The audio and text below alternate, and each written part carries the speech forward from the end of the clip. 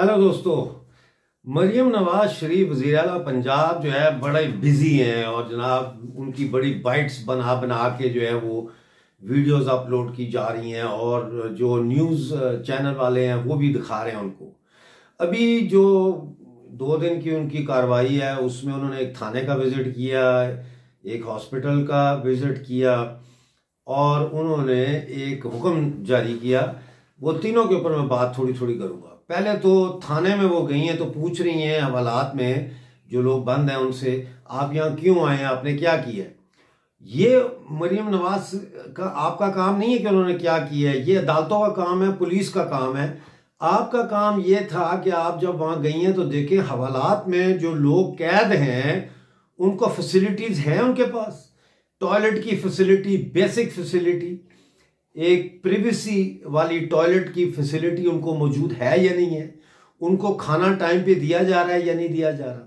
उनको चार दफ़ा दिन में या तीन दफ़ा चाय या कॉफ़ी उनको पेश की जा रही है थाने में या नहीं? उनको as a human being treat किया जा रहा है या नहीं? वहाँ तो कुर्सी तक नहीं है जिसके ऊपर वो हवालाती बैठ सके, वो ज़मीन पर बैठे हुए तो थोड़ा सा मेरा ख्याल है आपको ये समझना पड़ेगा कि you are not a thanedar you are chief minister दूसरा हॉस्पिटल में आप गई हैं औरतों को आ, कह रही हैं कि जो है वो आपका क्या मसला है दवाई मिली है नहीं मिली है? वो कह रही हैं जी नहीं मिली। आप घूम के देख रही हैं कह रही हैं दवाई नहीं मिली। वो आपको बता रहे हैं। इससे एक चीज़ तो ये ज़ाहिर होती है कि एडमिनिस्ट्रेटिव एक्सपीरियंस आपका नहीं है क्योंकि ठीक है आप जाएँ वहाँ पे आउट पेशेंट डिपार्टमेंट में पेशेंट्स को मिलें लेकिन आपका काम ये था कि आप हॉस्पिटल के फार्मेसी में जाती वहाँ चेक करती कि क्या क्या दवाइयाँ हैं। उनकी इन्वॉइसेस निकालती उनका देखती कि ये इन्वॉइसेस जो है, उनको ऑडिट के लिए ऑर्डर करती कि भाई तमाम हॉस्पिटल्स की फार्मेसीज के जो इनवॉइसेस है बाइंग है परचेज जो होती है, उसका ऑडिट किया जाए कि ये कहाँ जा रही हैं दवाइयाँ, क्यों नहीं है दवाइयाँ। आपका काम वहाँ पे फैसिलिटी चेक करना है कि भाई यहाँ पे जो लोग आ रहे हैं, जो इतने इतने घंटे वहाँ वेट करते हैं कि उनको डॉक्टर देखे, इनके लिए पानी का, चाय का, इन चीज़ों का बंदोबस्त है या नहीं है। वन विंडो आप ऑपरेशन की बात करती हैं, ये चीज़ें आपको चेक करनी चाहिए। और सबसे बड़ी आपकी जो मैं समझता हूँ कि आपको किसी इंतहाई अहमक इंसान ने यह मशवरा दिया कि एक ही आपने हुक्म जारी करके आठ लाख असले के लाइसेंस पंजाब के आपने जो है वो मुतल कर दिए कैंसिल कर दिए, खत्म कर दिए। आपको पता है कि एक असले का जो लाइसेंस होता है, उसकी सालाना लाइसेंस रिन्यूअल फ़ीस क्या है? बीस से पचास हज़ार तक। तो इसका मतलब यह है कि वो जो पंजाब गवर्नमेंट को रेवेन्यू आ रहा था, असले की लाइसेंस की रिन्यूअल फ़ीस की शक्ल में, वो गया जो बिलियंस में है। आप कैलकुलेटर उठा के देख लें, आठ लाख टाइम्स ट्वेंटी थाउज़ेंड या फिफ्टी थाउज़ेंड से मल्टीप्लाई करके देख लें। आठ lakh multiply by twenty thousand जो फिगर है वो लिख लें।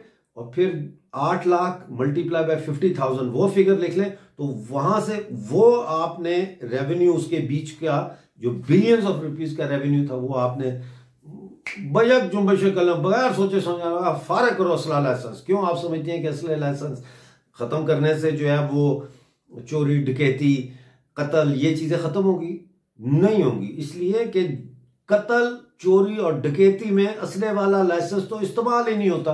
कोई पागल ही होगा जो असले वाले लाइसेंस के साथ जाके तो लाइसेंस वाले असले के साथ जाके डकैती करेगा, क्योंकि वो तो पकड़ा जा सकता है। अगर फायरिंग हो वहाँ पे, बुलेट का फ्रेंसिक हो तो वो उसका ट्रेल बैक किया जा सकता है, उसके ओनर तक, उसकी शॉप तक, कहाँ से खरीदा, बल्कि फैक्ट्री तक है वो कौन सी फैक्ट्री में ये चीज़ बनी है? तो होना यह है कि आपको होना यह है कि अब आपके इस हुक्म की वजह से नाजायज असला जो है, उसके कारोबार में इजाफा होगा। तो क्या नाजायज, ये जो ब्लैक माफिया है, मार्केट, ब्लैक मार्केट माफिया जो है असले का, ये उसने आपको कहा है कि असले के लाइसेंस खत्म करे ताकि वो ब्लैक मार्केट फ्लरिश करे। आपने अगर असले के लाइसेंस ये जो खत्म किए हैं इससे बेहतर यह होता कि आप कहती कि असले के लाइसेंस के जो सालाना फ़ीस है, इससे पंजाब के हर हॉस्पिटल में फ्री मेडिसिन जो है वो सप्लाई की जाएगी हर साल। तो आप ने होमवर्क नहीं किया हुआ एडमिनिस्ट्रेटिव।